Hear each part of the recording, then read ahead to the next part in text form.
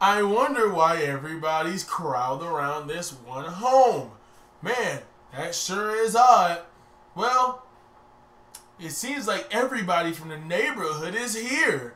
Time to find out on the first episode of Them Young Ones Be Restless. Good guy.